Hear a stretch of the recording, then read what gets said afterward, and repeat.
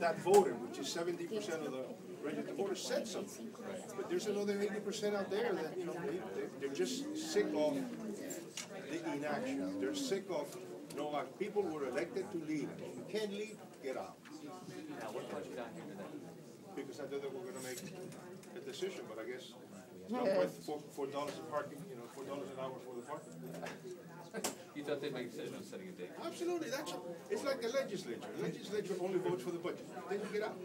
There's two issues that they have to take care of, and the sooner they do it, the, the, the less, uh, uh, problems we're gonna get. That's all. That, that's